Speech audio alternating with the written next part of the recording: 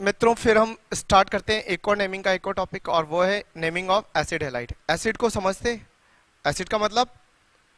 Acid C double O H और halide का मतलब ओ OH को आपने हेलोजन से रिप्लेस किया है।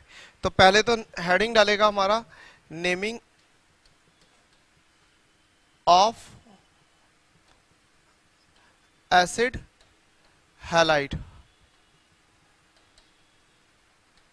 naming of acid halide करें स्टार्ट कैसे हम सोच पा रहे हैं यहाँ पर? हमारे पास R C double bond O O H plus acid कोई सा भी एक हेलो एसिड्स ले लिया हमने। समझ में आ रहा है? जिसमें हाइड्रोजन और हेलोजन है, उसको बोलते हैं हेलो एसिड ठीक है? और जब ये हेलो एसिड्स हो रहा है, इसमें से ये ओ OH और ये H अलग हुआ तो हमारे को जो कंपाउंड मिलेगा, वो कौन सा मिलेगा हमारे को? R C double bond O C L और इसको बोलेंगे एसिड हेलाइट एसिड हेलाइट क्योंकि यहाँ क्लोरीन है तो क्लोराइट ब्रोमीन होता ब्रोमाइट तो ये हो गया एसिड हेलाइट तो नेमिंग ऑफ़ एसिड हेलाइट्स अब इस तरह की नेमिंग हमें करनी है। तो चलिए नेमिंग हमारे को फ़ंक्शन ग्रुप कैसा दिखेगा? आपको दिखाई देगा R C double bond O C L. तो R C double O C L कितने फ़ंक्शन ग्रुप है? दो या एक? एक। अब इसको ये मत सोचना, ये एल्डिहाइड या कीटोन में से कुछ और होगा, ये सी एल अलग होगा। नहीं, ये मिलकर एक फ़ंक्शन ग्रुप है। सही है। तो अब अगर इससे बड़े भगवान, यानी इससे बड़ा फ़ंक्शन ग्रुप है तो ये प्रेफिक्स की तरफ़ आएगा। और प्रेफिक्स में आप सब जानते हैं कि नाम कैसे दिया जाएगा प्रेफिक्स का। पहले प्रेफिक्स में नेमिंग हमेशा इस तरह से होती होती या नहीं होती? होती। तो ये क्या हो जाएगा? हेलो कार्बो नाइल ये हमारे पास क्या हो जाएगा? प्रेफिक्स की नेमिंग हमेशा प्रेफिक्स में इस तरह से जाते हैं हम। हमने ऐसा एस्टर में भी देखा था। देखा था ना? हेलो कार्बोनाइल अब बात आता है सफिक्स सफिक्स अगर यही बड़ा भगवान है सबसे बड़े भगवान यही है तो फिर कैसे सोचोगे आप? मैं ऐसे सोचूँगा कि यहाँ पर दो बातें हो सकती है। या तो कार्बन मेन चेन में आ जाए या ना आए। दो ही बातें होती है। अगर कार्बन मेन चेन में आ गया अगर कार्बन मेन चेन में आ गया तो नाम क्या होगा? इस तरह से होगा। आ, हम इसको बोलेंगे क्लोरो क्या बोलेंगे इसको? ऑयल हेलाइट दो बातें हो सकती है। ऑयल हेलाइट यानी ऑयल हेलाइट और दूसरा हो सकता है हमारे पास कि ऑयल हेलाइट यानी कि कार्बन काम में आ रहा है मेन चेन में। नहीं तो अपन क्या बोलेंगे? कार्बन नहीं आ रहा है तो कार्बोनाइल हेलाइट कार्बोनाइल हेलाइट में कार्बोनाइल क्लोराइड हो सकता है, कुछ भी हो सकता है। तो शुरू करें। दूसरा नाम कार्बोनाइल हैलाइट तो इसका आईयूपीएससी नेम क्या होगा? आईयूपीएससी नेम आईयूपीएससी नेम हमारे पास होगा alkanoyl alkanoyl halide या एल्केन कार्बोनाइल हैलाइट और अच्छे से तो आपको तब समझ में आएगा जब आप एग्ज़ाम्पल देखेंगे। कुछ एक एग्ज़ाम्पल नंबर वन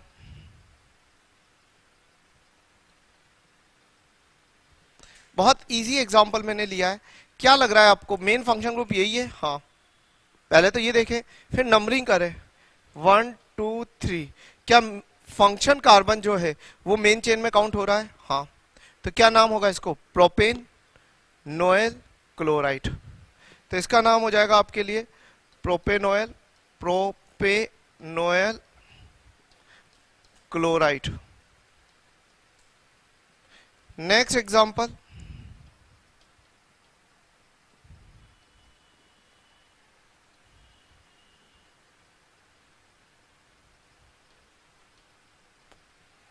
इसको कैसे देखेंगे यहाँ पर? यहाँ कितने कार्बन है वन टू थ्री फोर तो कैसे होगा? ब्यूट पहले हमारे पास कोई लोकेंट है हाँ. Four bromo four bromo but two en oyl two enoyl chloride easy है, कोई ज़्यादा खास दिक्कत नहीं आ रही है। कुछ और एग्ज़ाम्पल लेते हैं हम। अगर हमारा एग्ज़ाम्पल कुछ इस तरह का है। सीओ सी एल तो क्या यहाँ पर सी काउंट हो पा रहा है मेन चेन में? नहीं। तो क्या बोलेंगे यहाँ पर? साइक्लो हेक्सेन कार्बोनाइल क्लोराइड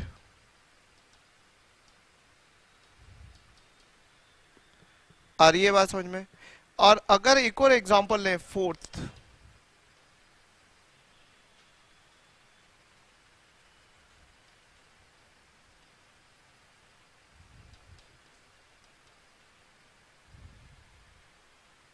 इसका आईयूपीएसी नेम क्या होगा? नंबरिंग करेंगे। नंबरिंग हमेशा वहाँ से होगी जहाँ से फ़ंक्शन ग्रुप शुरू हो रहा है, यानी यहाँ से। वन अब ब्रोमीन को प्रायोरिटी देंगे या डबल बॉन्ड को? डबल बॉन्ड को। डबल बॉन्ड कहाँ से पहले आ रहा है? वन टू वन टू दोनों तरफ़ से सेम आ रहा है। तो फिर थर्ड नंबर प्रायोरिटी किसकी जाएगी? ब्रोमीन की।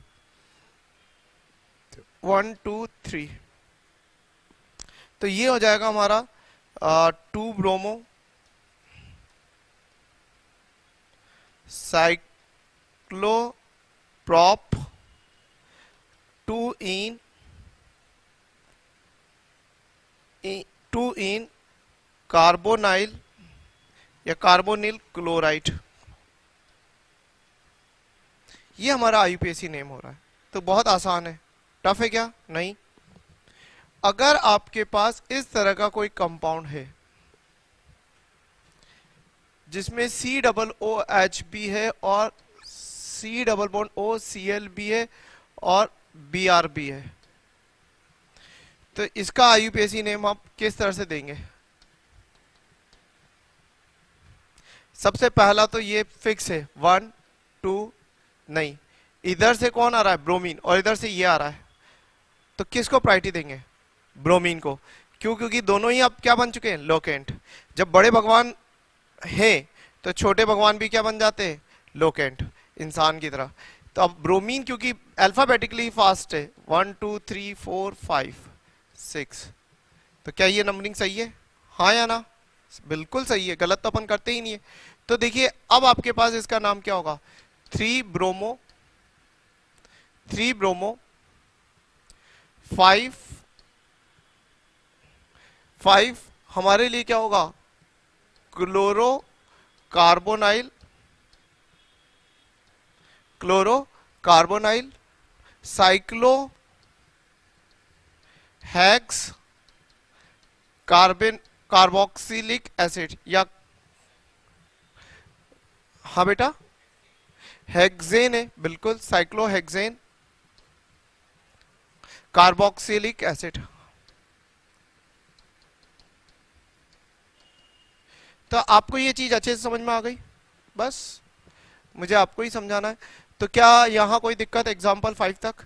कुछ और एग्ज़ाम्पल की प्रैक्टिस करवाऊँगा मैं आपसे। पहले इनको लिख लीजिए।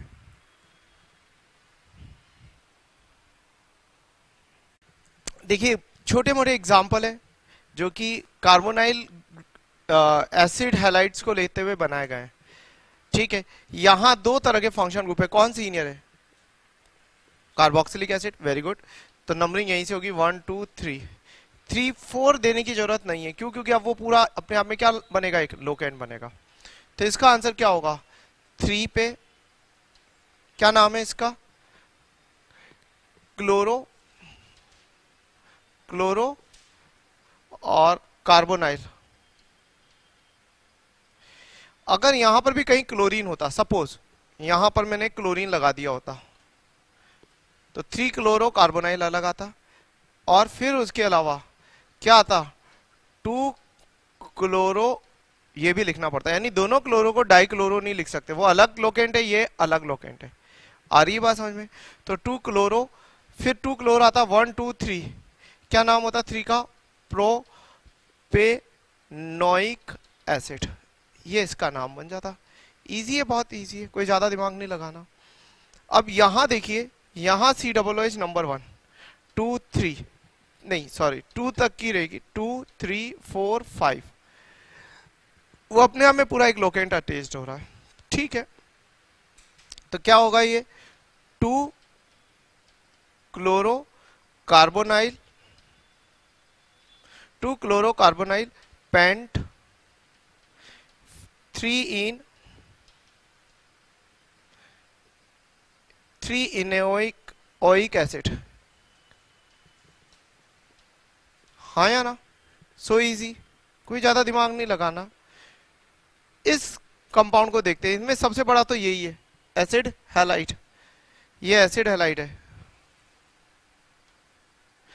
तो नंबर वन यहाँ से number two three four five six क्योंकि फ़ंक्शन ग्रुप के बाद जो सबसे प्रायोरिटी होती है, सबसे ज़्यादा वो किसकी होती है? डबल बॉन्ड यानी मल्टीपल बॉन्ड्स की. तो मेरे लिए यहाँ पर क्या हो जाएगा? Six bromo six bromo five chloro cyclohex cyclohex two en two en. हाँ बेटा, कार्बोनिल क्लोराइड क्यों बोल रहे क्योंकि कार्बन काउंट नहीं हो पा रहा है। Carbonyl chloride. सही है। तो कार्बोनिल क्लोराइड हमारे पास हो गया। यहाँ पर कौन बड़ा फ़ंक्शन ग्रुप है? Ester. Very good. Ester number one two three four five six ester के बाद कौन सबसे बड़ी चीज़ आएगी? मल्टीपल बॉन्ड अब किस तरह से नाम देंगे हम? Six bromo six bromo five chloro carbonyl आगे. Cyclohex cyclohex three en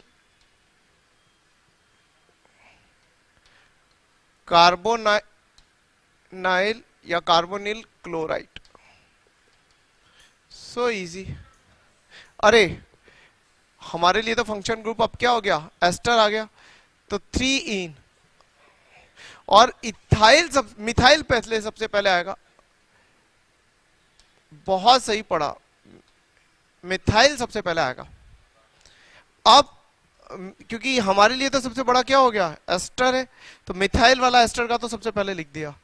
फिर उसके बाद सब कुछ। अब बचा क्या? कार्बोक्सिलेट क्यों? क्योंकि इसका कार्बन काउंट नहीं हुआ है। कार्बोक्सीलेट। बिल्कुल सही है। कार्बोक्सीलेट। अब इधर देखिए। इसमें तो आपके पास सबसे बड़ा group one two three four five six oic acid last में दिखना तय है। लेकिन उससे पहले ये रहेगा क्लोरो और ये रहेगा मिथॉक्सी सी पहले आता है। तो इसका नाम होगा फाइव क्लोरो कार्बोनिल एक काम हो गया। फिर किसका नाम रखना है? Six methoxy carbonyl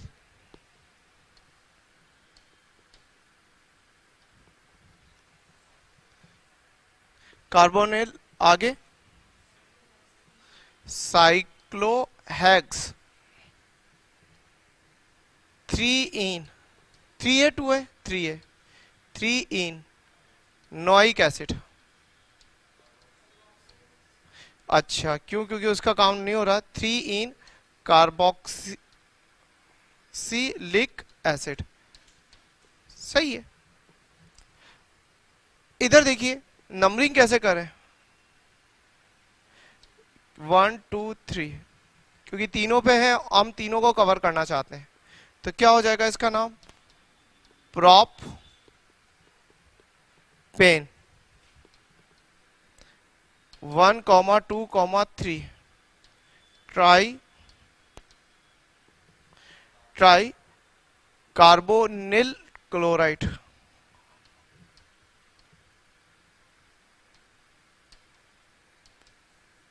Carbonyl chloride. यहाँ हमारे लिए क्या होगा नंबरिंग? One, two, three. क्योंकि दो फ़ंक्शन ग्रुप है, दोनों को पहले लेना हमारी ज़रूरत है। थ्री क्लोरो आगे three chloro carbonyl cyclo cyclopropane one comma two di carboxylic acid.